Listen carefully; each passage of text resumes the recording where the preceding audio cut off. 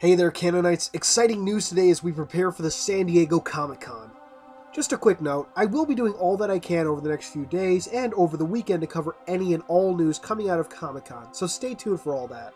The big news today has to do with Halo Nightfall. We know that there's a whole panel dedicated to it at Comic Con and that a trailer or teaser of some sort will be there. But today, 343 released some images of Mike Colter as Agent Locke, and they are certainly some juicy morsels for us to whet our appetites with.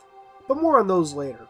In addition to that, we got a couple of interviews, one by Variety and another by a site called Canada.com.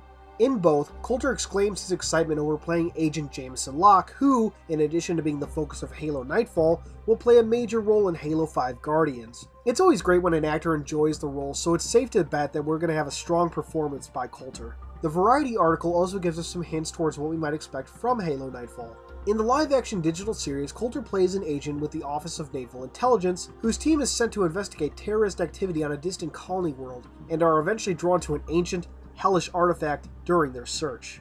Ancient, hellish artifact? Given that the promotional art for Nightfall features a broken Halo ring, it seems to heavily imply that we might revisit the derelict and destroyed Forerunner weapon. Oni certainly has a history with Installation 04, as seen in the motion comic Mona Lisa. It's also interesting the mentioning of insurrectionists on a distant colony. Could this be Venezia or a new colony altogether? And what might these insurrectionists have to do with Installation 04, assuming our assumptions are true? Only time will tell. Now on to the pictures. Our first shot is just a close-up of Locke. The second, we get a more complete shot with a lot more to talk about.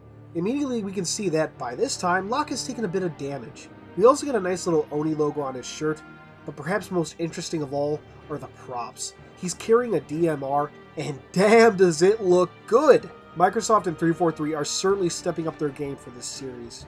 The next picture is another close-up of Locke, this time looking very intimidating. We can also see that he has proper body armor on, though nothing like what we've seen before.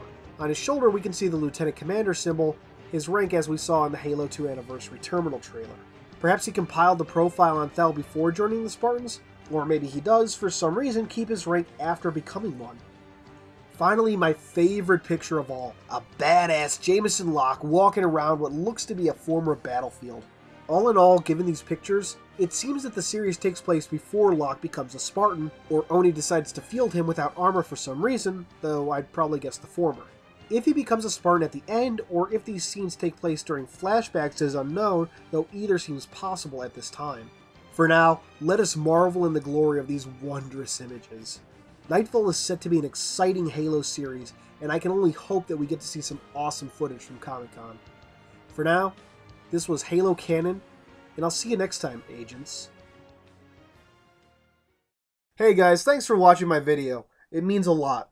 If you like this video, please give it a thumbs up, subscribe, and maybe share it around on whatever social media you choose. Your support is greatly appreciated. I cannot stress that enough. Thanks for watching.